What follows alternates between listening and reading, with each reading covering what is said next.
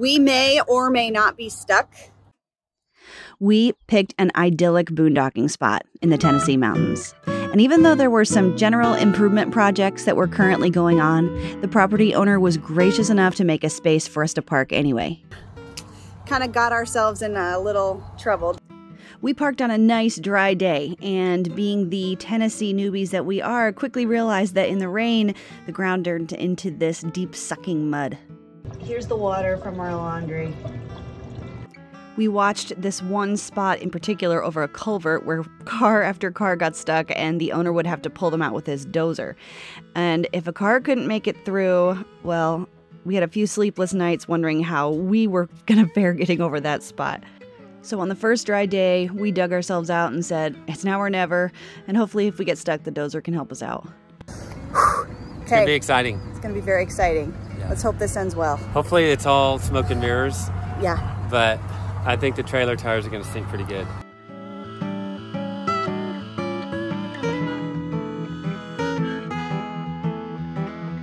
Okay.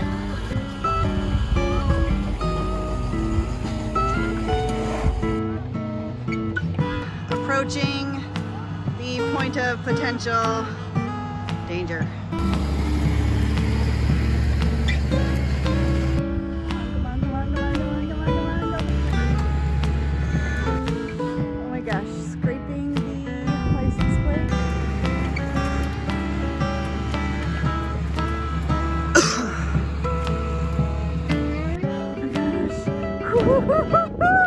We parked up at the top of the hill and enjoyed the rest of our stay knowing that that culvert was behind us.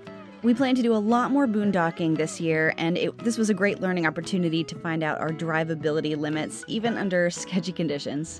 And we had the safety of a helpful and supportive property owner to back us up should we get in a jam.